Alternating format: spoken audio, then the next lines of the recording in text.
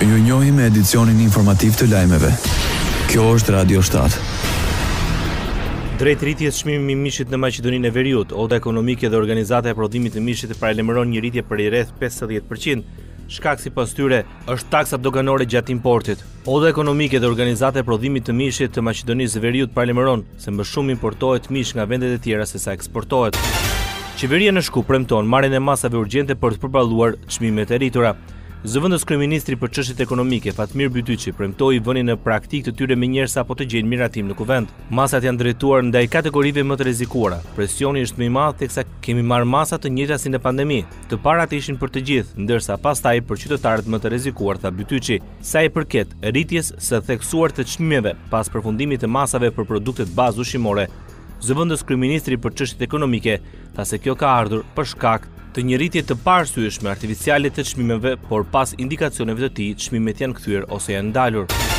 Gati regjistrimi pilot i Maqedonisë së Veriut për bujqësinë. Nga nesër deri më tridhjetë qershor, Enti Shtetëror i Statistikave do të kryejë regjistrimin pilot të bujqësisë, i cili do të përfshijë një seri fermash familjare dhe subjekte afariste që janë të regjistruara dhe angazhuara në aktivitetet që kanë të bëjnë me bujqësinë.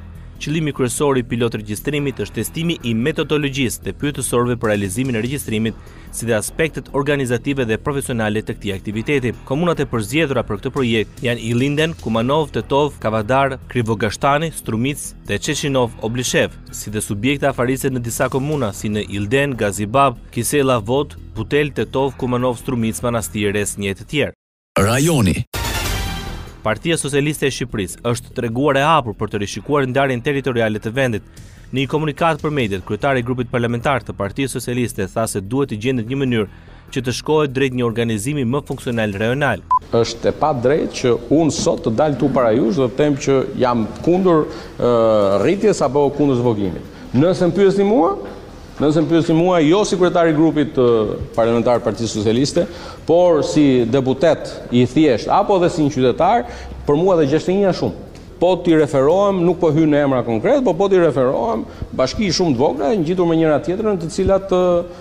mbajnë dy administrata kot.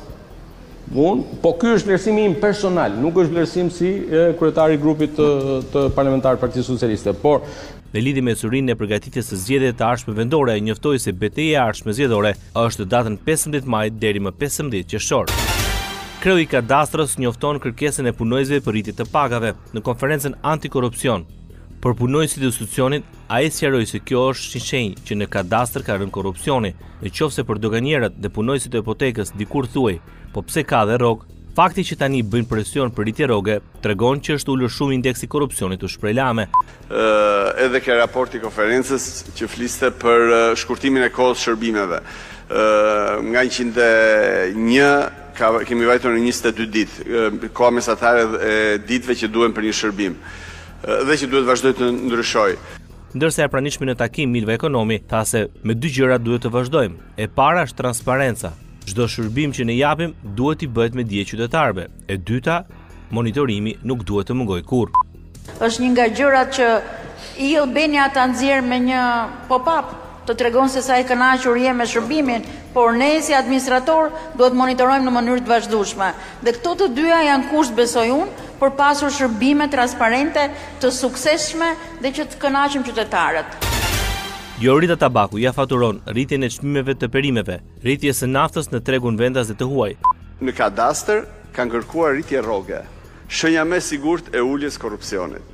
Në qoftë se për doganierët dhe punonjësit e hipotekës dikur thuhej që po pse ka dhe rrogë, fakti që tani po bëjmë presion për rritjen e rrogës tregon që ka rënë është ulur shumë indeksi i korrupsionit. Kjo rritje ka ardhur si rezultat i rritjes së çmimit të karburantit nga njëqind e shtatëdhjetë lekë në dyqind e gjashtëdhjetë lekë për litër, ku gjashtëdhjetë për qind janë vetëm taksa, një e treta është TVSH, si rezultat i rritjes së çmimit të energjisë elektrike deri në tetëmbëdhjetë lekë kilowatt orë, por dhe i mungesës totale të subvencioneve, të mbështetjes së fshatit, të mbështetjes së fermerit. Sipas saj, fajtori i vetëm për këtë është qeveria që ofron lugën e propagandës dhe ka paketat ndihmëse më të ulëta në rajon.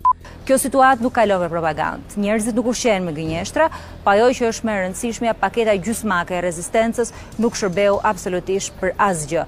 Thirrja e Tabakut është që qeveria duhet t'i ketë sytë aty ku ka nevojë, Shtresa e mesme, biznesi, qytetarët dhe jo tek oligarkët e koncesionet, ishte deputetja e PD-së, Jorida Tabaku. Radio shtatë, zëri pozitiv i qytetit.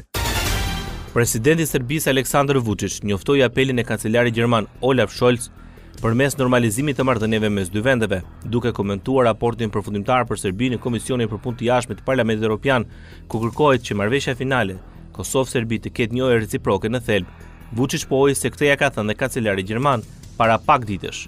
Më njëzet e tre qershor në Bruksel do të mblidhen liderët e shteteve të BE-së, teksa foli për shtetet veç e veç se çfarë kushtesh duhet të plotësojnë për integrimin europian, për Serbinë nuk pati përgjigje. Çfarë duhet të bëjmë ne? Ne të njohim Kosovën?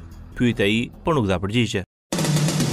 Ndoqët lajmet shkurt në Radio 7, zëri pozitiv i qytetit.